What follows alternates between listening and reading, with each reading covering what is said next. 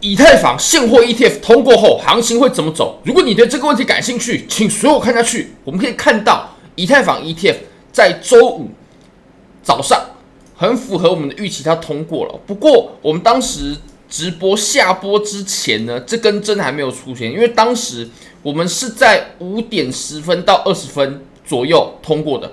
那当时，因为我自己就看着。盘面，然后看着很多消息啊，所以我是记得这个时间点的，非常印象深刻。不过当时大概在四点多的时候，有出一个假消息啊，有说有可能会延后，所以当时有插了一根很长的下影线，一根针呢。不过对于整体的盘面来说，它一样是不影响的。也就是，其实我们当时有谈到，其实以太坊 ETF 它通过的几率很高，这个消息之前其实行情就已经反映完了。是行情先上涨之后，这个消息才被放出来的，所以我们是没有机会啊，借着消息然后去做操作的。那我们当时有提到啊，其实市场上对于会通过的消息消化的差不多之后，真正通过了的时候，对于当下的盘面的影响是不大的。其实我们从比特币现货 ETF 就可以看到这个状况了。那现在以太坊的盘面呢，基本上是。完美的重演了我们当时比特币的情况。不过，比特币跟以太坊有一个很大的不同，就是比特币它是一连通过了十九 B 之四还有 S one 的文件的，那以太坊是先通过了十九 B 之四，那 S one 很有可能会延后几个月之后才会通过。那么，以太坊现货 ETF 要真正能交易呢，一定要有 S one 的通过所以，以太坊在短期内呢。基本上是看不到它真正开始交易哦，所以其实我们从务实的层面上，目前以太坊 ETF 的流入量就是零，它的实质的利多就是零，它实质流入的资金就是零，所以我们要真正看到有流入，它才会有真正资金堆砌起来的上涨啊，不然目前呢就只是先反应而已。那当然呢。我们从十九 B 之四通过，也就是上周五的时候，一直到 S one 通过，中间会有好几个月的空窗期。我认为这个空窗期，我们是很难有这种很剧烈的下跌的，因为接下来就有一个很大的利好，它确定会出现。不过呢，我们现在还在等待，那这个过程很有可能就是缓慢的上涨啊，或者说震荡，但要出现很显著的下跌是比较困难的。那当然呢，我们。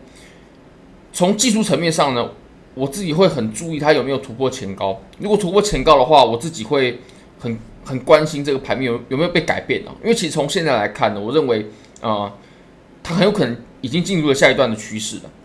那 S one 文件通过之后，以太坊 ETF 真正上线，会对盘面造成什么影响呢？我们很有可能会先下跌，短期下跌之后，然后再迎来一段的上涨。其实就跟比特币一样嘛。那这个。我们等一下也会说我们的证据是什么。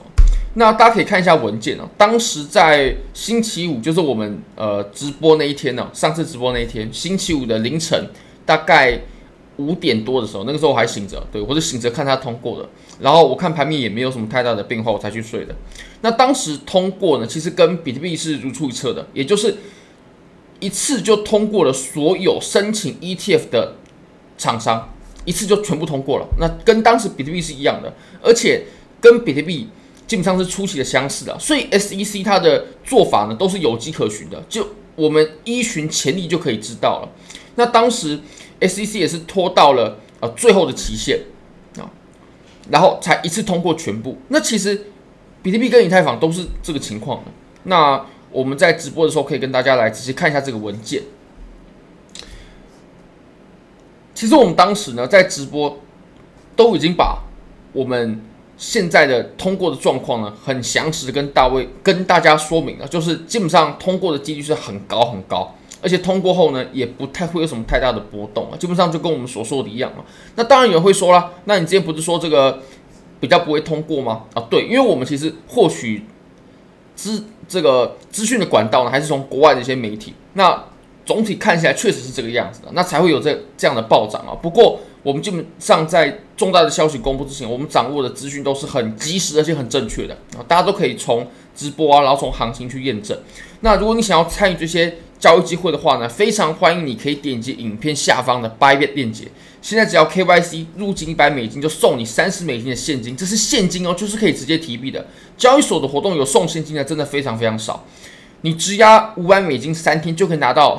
二十七点三六美金的现金一样可以直接提币，而且这两个活动你可以同时参加，这真的非常非常优惠。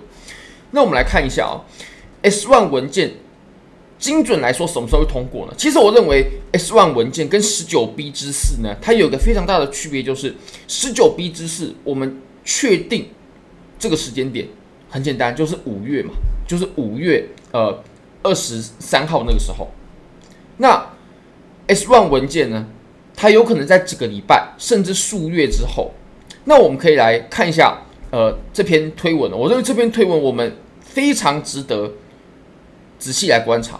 哦，那上面的提问就有提到了，哦，他很好奇啊，ETF 的专家在十九 B 之四通过之后，什么时候会通过 S one 呢？哦，到底会多久这个间隔？那当然，这个也是我们最在意的。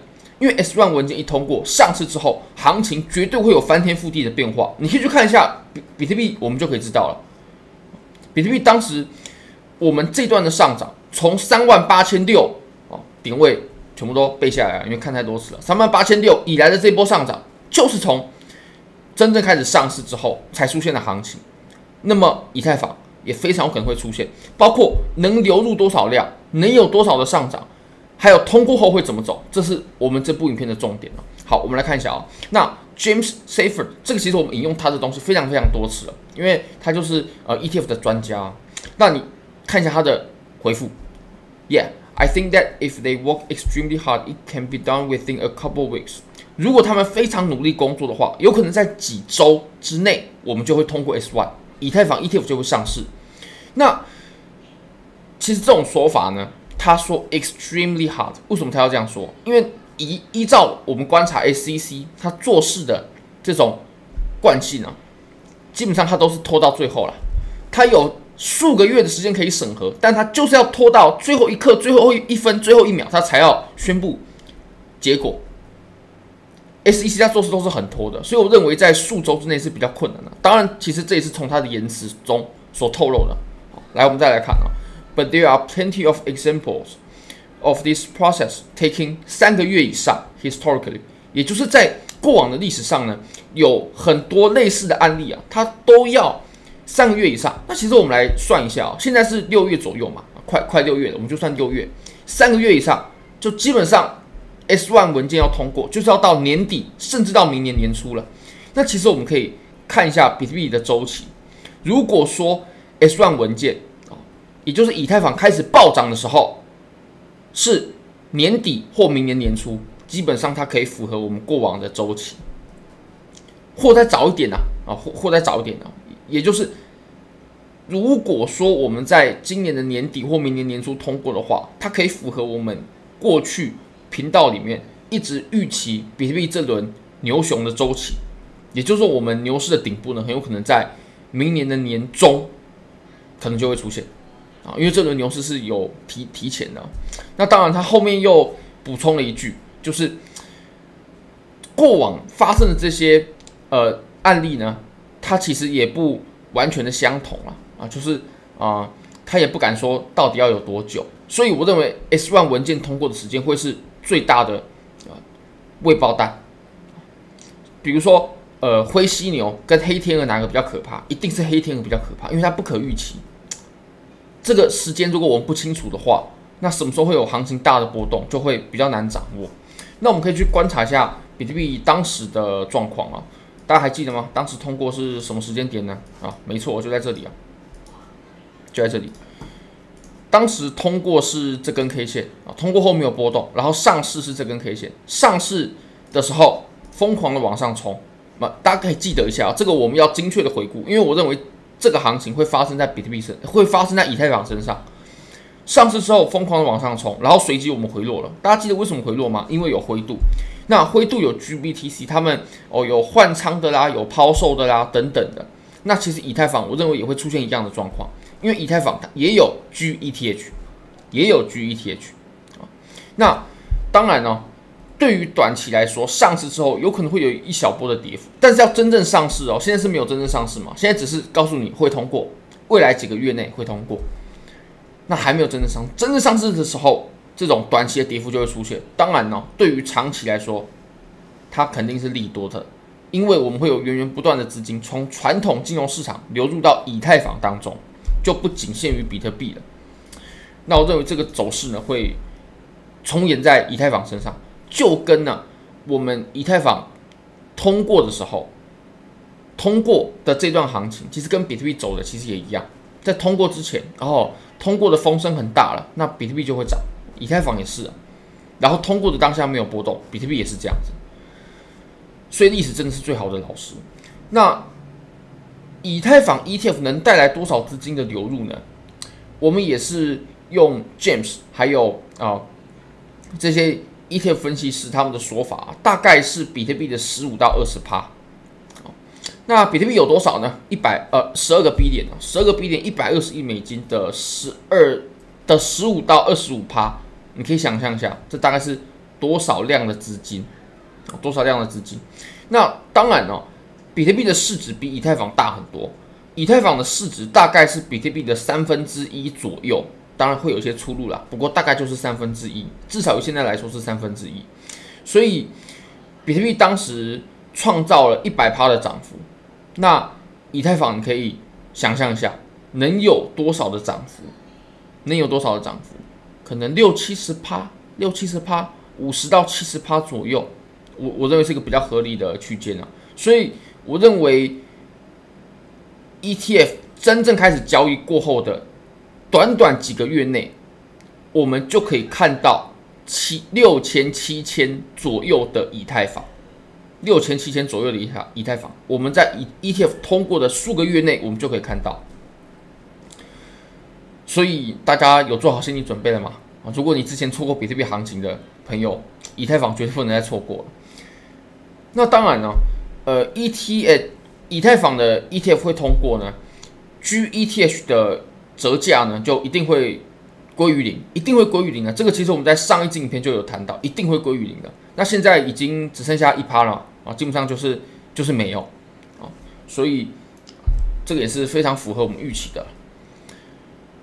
那我们来看看，我们当时有谈到 G 哎，以太坊 ETF 一上市之后会有。灰度的抛压，那灰度有多少货呢？